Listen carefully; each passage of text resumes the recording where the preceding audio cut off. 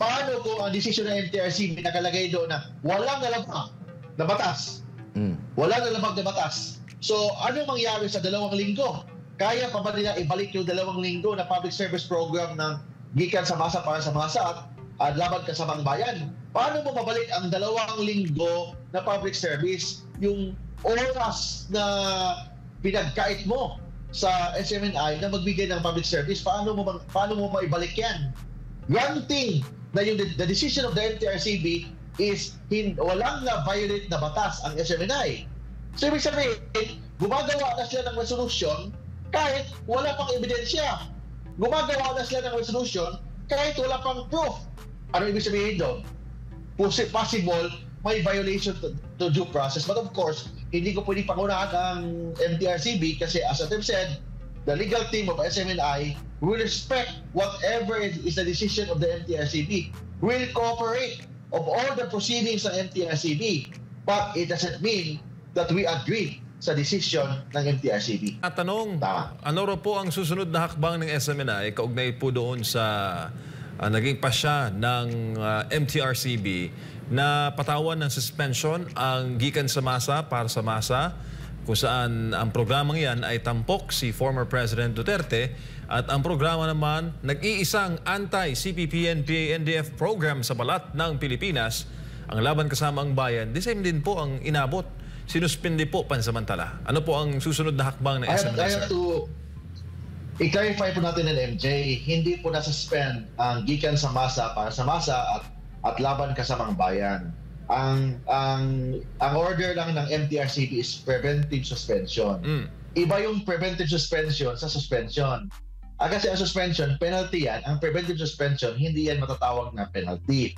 It is only part of the administrative proceeding, but it is not a penalty. That's why if basahin mo po yung official official statement ng MTRCB, nakalagay doon, may violate. Wala nakalagay doon na na-violate na ang rules and regulation ng MTRCB or yung batas ng MTRCB. Wala nakalagay doon na na-violate na. May may possib, possibly na may ma-violate but wala pang violation. That's why ang word na ginamit ng MTRCB, preventive suspension for 14 days. Ang hakbang na gagawin po natin, MJ, is we will file as soon as possible, hopefully by tomorrow or end of this week, a motion to lift that preventive suspension and to allow the uh, to allow the two programs na mag-continue in their public service program. Kasi parang yung ginagawa ng MTRCB, of course, we will respect whatever the decision of the MTRCB. We will cooperate whatever is the procedure, yung proseso ng MTRCB, but it doesn't mean that we agree sa decision ng MTRCB. That's why we will file a motion to lift the preventive suspension and to allow us to continue our public service program. Sino daw po, sir, ang complainants doon sa dalawang show? Nabanggit po ba yun ng MTRCB? May ang, ang isa of course yung ah, si I think si yung isang congresswoman na si Franz Castro. The other one is ah, hindi ko na, na identify yung complainant. But another an- another issue dyan MJ kung i kung pinangunahan kasi ng MTRCB, there is a possibility na ma-conflict ang desisyon ng MTRCB at saka yung desisyon ng ng city prosecutor ng Quezon City with respect sa grave threat na kaso ni former President Rodrigo Duterte. So pag yun mangyari, so may posible na mapahamak ang MTRCB in that case. Kasi don't forget, ang ang evidence na kailangan sa sa fiscal office ng Quezon City is probable cause. Probable cause lang or possibility of the commission of the crime. Unlike in MTRCB, ang kailangan mas mataas na penalty o mas mataas na ebidensya. Ito yung tinatawag na substantial evidence. So in this case, so kung gumagawa ng decision ng MTRCB na wala pang decision ang piskalya with respect sa grave threat, may possibility na conflicting ang kanilang decision or pina, napangunahan pa ng MTRCB ang decision ng ng Quezon City Prosecutor Office. And in that case, so there is possibility na may violate naman ang due process ng ng SMNI, nung mga yung mga host po natin. So that's why we will file a a, a corresponding pleading or motion sa kanilang uh, order about the preventive suspension. Po, uh, sir, maghain ng motion for reconsideration. Malinaw po yung binanggit po ninyo. May uh, naging pahayag po ang Partido PDP Laban ngayon pong gabi. Kaugnay naman po doon sa naging yung preventive suspension nga sa programang Gikan sa Masa para sa Masa. At bilang abogado, sir, binanggit po nila yung, uh, yung punto na yung MTRB decision na uh, may have violated daw yung programa sa PD 19, uh, 1986 pero hindi naman daw clearly na-establish yung ano mga violations. Anong komento mo doon, sir? Bilang uh, isang abogado. That's why nga, that's why nga ang, ang desisyon na nilagay po ng MTRCB may violate. Ibig sabihin, hindi pa sigurado ang MTRCB na na-violate ang batas. That's why, that's why, that, that's why yung, yung preventive suspension dapat iset aside muna yan pending the, the investigation of the case. Kasi parang may desisyon na na wala pa namang sapat na ebidensya wala pang napapatunayan. In fact, hindi pa sigurado ang MTRCB na may na-violate. Kung basahin mo ang official statement or the, the, the resolution ng MTRCB, nakalagay lang doon, the program may violate. Wala nakalagay, the program violated. So, ibig sabihin, may violate mismo ang MTRCB, hindi pa sigurado kung may na-violate na batas. And of course, don't forget, we are in a democratic country uh, we need to respect yung tinatawag na freedom of press, freedom of expression. So pag so kailangan na uh, in case of doubt, the decision dapat ng MTRCB always consider the general principle of a democratic system, yun ang freedom of press and freedom of expression. Attorney, maayong uh, gabi. So, kung pagbabasehan natin itong desisyon ng MTRCB, nabanggit mo nga na uh, posibleng merong uh, posibleng Oo, posibleng may paglabag at preventive uh, ano lang suspension. Halimbawa, pagpalagay natin, so after nito kung makapag-desisyon sila na meron talagang paglabag, additional na naman na suspension? Parang ganun. Additional yung... naman yan. Additional, additional naman yan. So in this case, yung paano kung ang decision ng MTRC nakalagay doon na walang nalabag na batas. Mm. Walang nalabag na batas So, ano mangyari sa dalawang linggo? Kaya pa ba nila ibalik yung dalawang linggo na public service program ng gikan sa masa para sa masa at, at laban ka sa bayan? Paano mo mabalik ang dalawang linggo na public service? Yung oras na pinagkait mo sa SMNI na magbigay ng public service, paano mo paano mo maibalik yan? Granting na yung the decision of the MTRCB is hin, walang na violate na batas ang SMNI So, ibig sabihin, gumagawa na sila ng resolution kahit wala pang ebidensya. Gumagawa na sila ng resolution kahit wala pang proof. Ano ibig sabihin doon? Possible may violation to, to due process. But of course, hindi ko pwedeng pangunahan ang MTRCB kasi as I've said, the legal team of SMNI will respect whatever is the decision of the MTRCB. Will cooperate of all the proceedings ng MTRCB.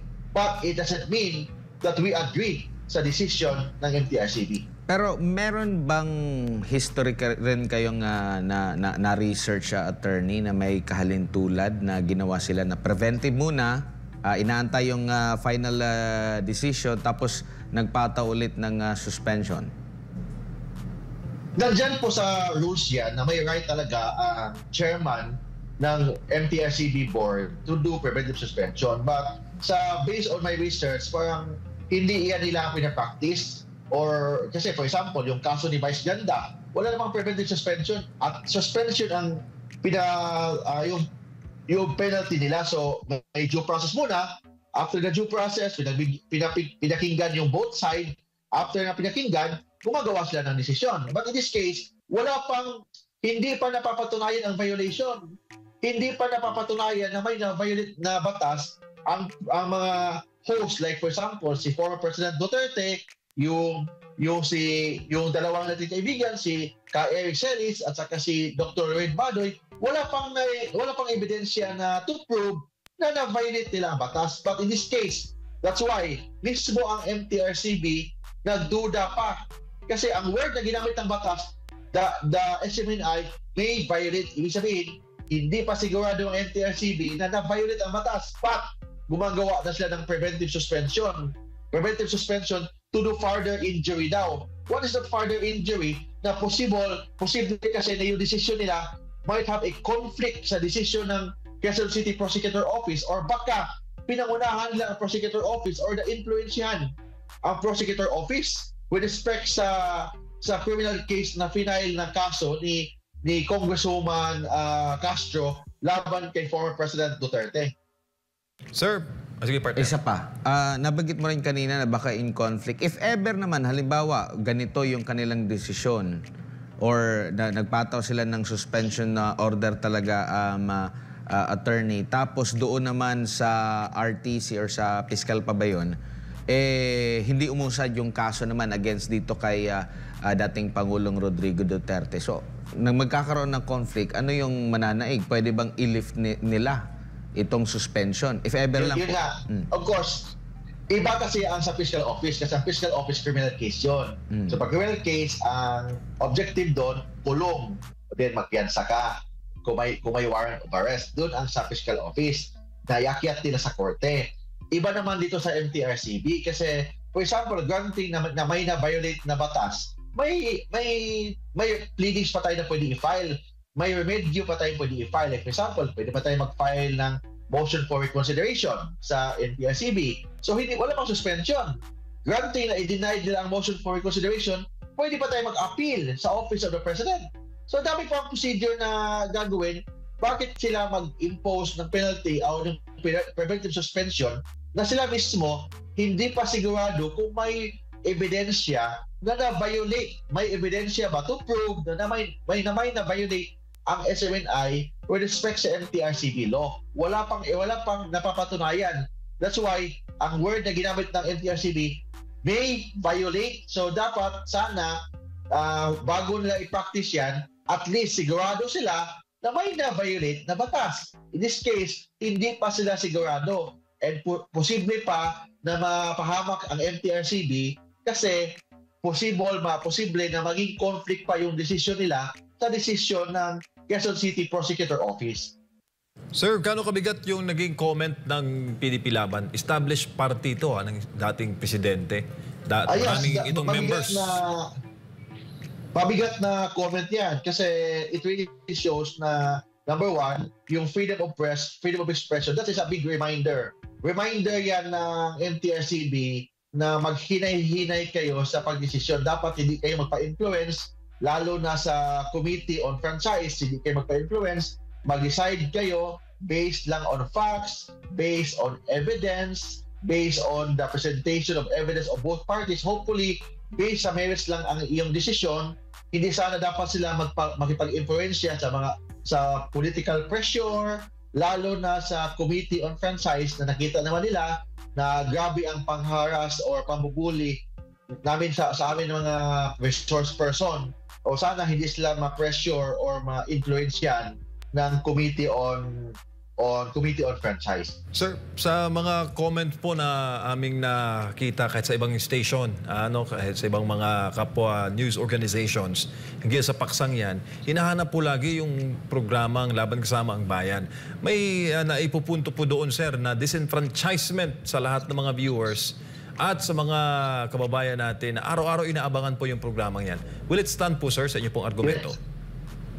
Yun, yun nga, so ang, ang ginagawa nila, yung MTRCB decision, may, may, may violation na sa ating saligang batas. Yes, may basihan sa, bat, sa batas about sa preventive suspension, but as much possible, hindi dapat i-practice yan kung may doubt sila sa kanilang desisyon.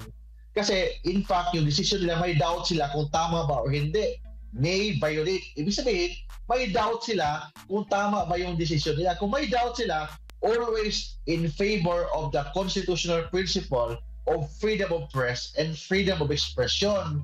So kasi kung ipastop nila, that is uh, curtailment of press freedom, disfranchisement yan, or parang pinastop nila yung yung program na that is purely for public service and it really affects public interest and public information sa ating mga kababayan.